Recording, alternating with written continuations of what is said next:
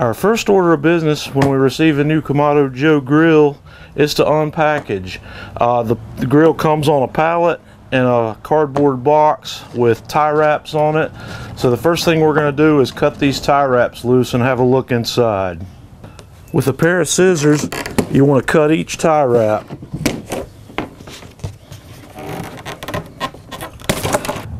After you've removed the retaining straps from the box, you simply lift the lid off, set it aside, and then each of the four walls of the box will lift right out, making it very easy to access all of the items inside the box.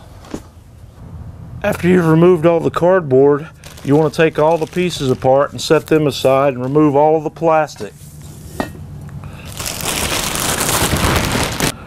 Once all of the plastic is removed, you want to open the Joe and remove the parts that are packaged inside the grill and set them aside.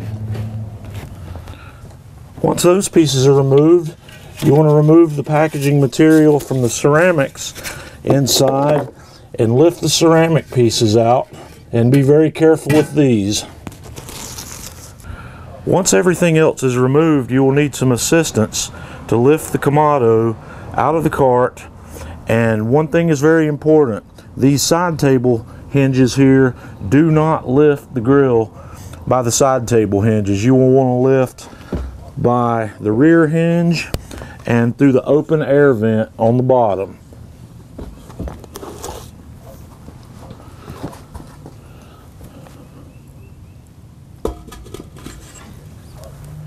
After you've removed the Kamado from the packaging, the next step is to take the cart base out and remove the plastic.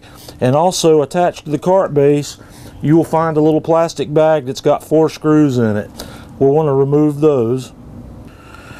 And then for ease of assembly, you want to lock the two locking casters so the cart won't move. When your cart's secured in place, you want to take the top part of the cradle and set it in each of the four holes and push it down in good and tight. Once your cart is together, you take the four screws that came fastened to the cart and with a Phillips head screwdriver fasten those screws in place to hold the cart together. Once you have the cart together, you use the same lifting technique with some help to uh, lift the Kamado right into the cart. You want to set the front side with the handle over the locking wheels on the bottom and make sure that your air vent is uh, visible to the front side of the grill. Now that we have our grill in the cart, you want to open the lid and we're going to put the ceramic pieces back in the grill starting with the firebox. And the firebox has a vent opening on the front so it needs to be oriented to the front side of the grill where it lines up with the air vent at the bottom. And then we will follow that by setting the fire ring right on top of the firebox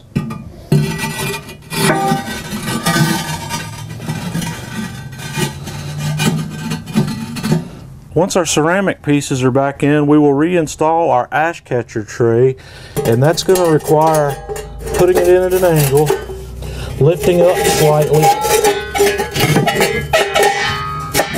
lifting up slightly on the firebox and dropping the tray in place.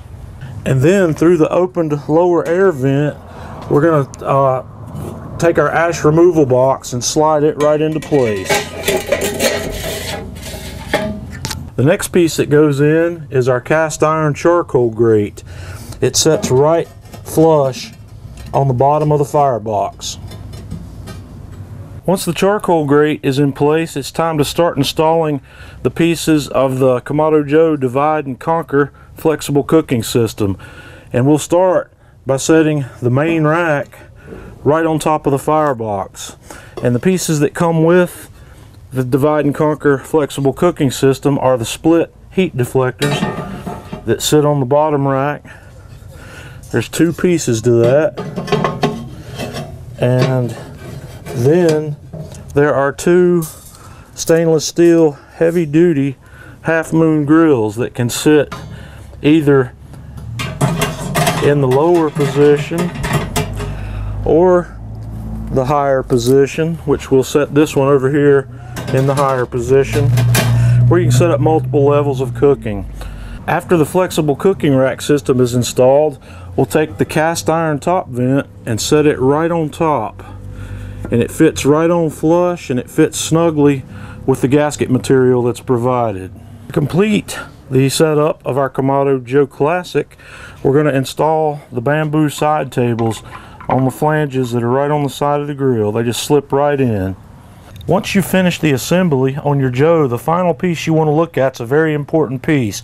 We need to take a look at both of these nuts right here and make sure that they're tight. These nuts hold the bands that hold the lid on. So we're going to slip an adjustable wrench over those and see if those will turn. They're going to turn just a little bit. So we're going to turn those and make sure that they're good and tight and that they're not going to turn any. And with the completion of our side table installation, our Kamado Joe is ready to cook.